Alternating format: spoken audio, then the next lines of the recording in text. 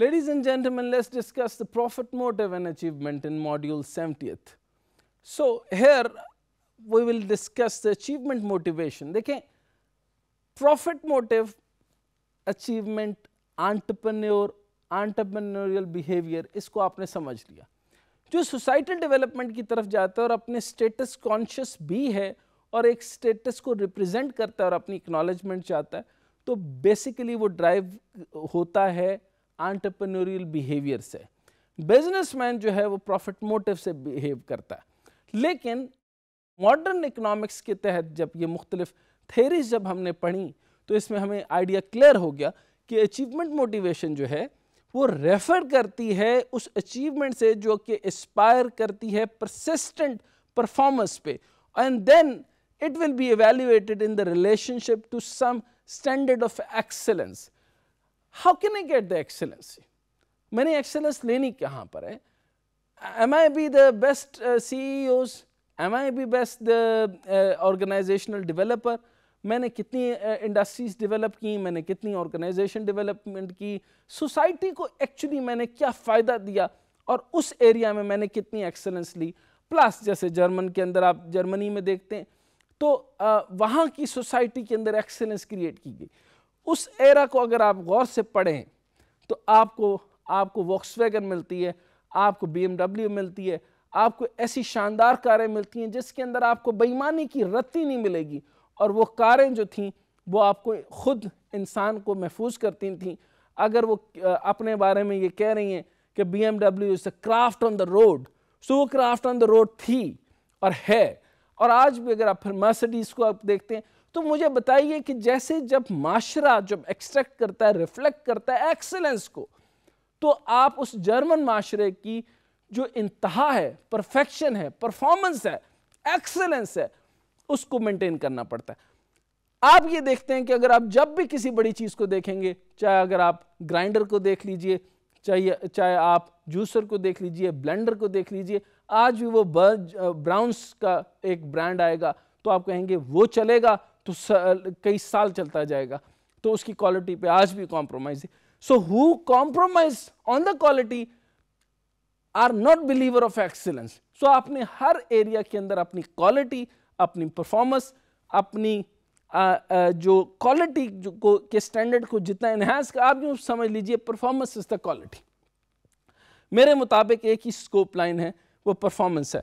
आगे हम देखते हैं कि since business man have obvious shift to their concern from the intrinsic worth to money worth so Marx साहब ने यहाँ पर कहा कि and the economist endowed man with the psychological characteristics known as a profit motive.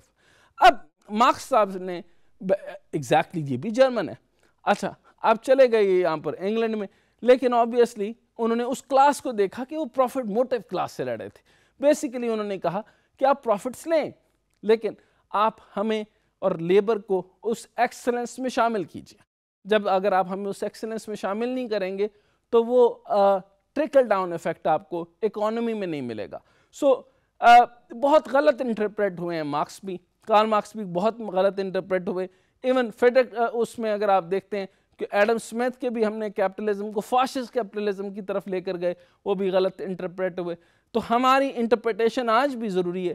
कि ये दो बड़े फ़लसफ़े जिसमें कैपिटलिज्म को बाद में फिर कम्युनिज्म और कम्युनिज्म के बाद सोशलिज्म इसको बेहतर करने की काफ़ी हद तक ज़रूरत है लेकिन ये जो प्रॉफिट मोटिव है rather the capitalist and any rate was pictured as being driven by greed, by the necessity of making, uh, mon uh, making money or keeping up. ये बड़ा इंपॉर्टेंट है माशरे बर्बाद हो जाते हैं तबाह हो जाते हैं इम्बैलेंस हो जाते हैं इनक्वालिटी में आ जाते हैं हैव एंड हैव नॉट्स में चले जाते हैं। जब एक सर्टन कैपिटलिस्ट जब फाशिस्ट कैपिटलिस्ट होता है, वो अपने पूरे मोटिव्स को देखता है, वो मजदूर की मजदूरी खाता है रेट कम देता है, कम पे मुकता है, और फिर जो है, वो अपनी बेस्ट इंडस्ट्री लगा रहा होता है, अपने प्रॉफिट्स बढ़ा रहा होता है, अपने प्रॉफिट्स को शेयर नहीं करता। तो बेसिक फॉर्मूला समझिए कि लड़ाई इस चीज़ की है कि अगर आप बिजनेसमैन हैं और आपका मोटिव, आप ड्राइव हो रहे हैं ग्रीड से तो मोटिव बनेगा प्रॉफिट।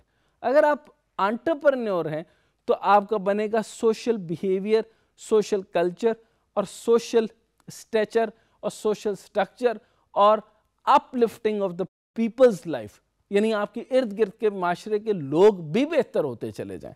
उनको भी तरक्की मिले, वो भी अच्छे से खाएँ, वो भी अच्छे से पिए, उनकी भी न्यूट्रिशन है। अगर आपकी न्यूट्रिशन है, अगर एक मालिक है किसी बिज़नेस का, अगर उसकी न्यूट्रिशन उसके दिमाग को उतने ही कैल्शियम चाहिए, उतने ही मैग्नीशियम चाहिए और उसकी बॉडी को भी उसको मल्टीवाइटामिन चाहिए तो आपके काम करने वालों को भी उतने ही चाहिए। So this is how you drive by the profit motive profit motive के साथ ग्रीड को लाइए। और अगर आप अंटरप्रन्योर हैं तो उसके साथ आपका अंटरप्रन्योरल बिहेवियर है, जिसके अंदर आपका सोशल आप लेफ़्ट है। लेकिन आप तो आंट्रप्रनर जिसको आप कहते हैं, आपने वही बोर्गोस, बोर्गिस की तरह आपने इसको, उसके साथ मिक्स एंड मैच में ले आए। आज का आंट्रप्रनर फिर से वो प्रॉफिट मोटिव की तरह बिहेव करने लग गया, जबकि हमें इसकी असलाह करनी होगी और हमें इसको देखना होगा कि फौरी तौर के ऊपर जो आंट्रप्रनियरल बिलीव्स हैं, उनको हमें रीअलाइन करना होगा। So how the profit motive and achievement work in this behaviour कि ग्रीड से आपको ड्राइव नहीं होना। प्रॉफिट मोटिव की तरफ़, जबकि आपको होना है, आपको स्ट्रक्चरल रिफॉर्म्स की तरफ़ और आपने सोसाइटी को अपलिफ्ट करना है। Thank you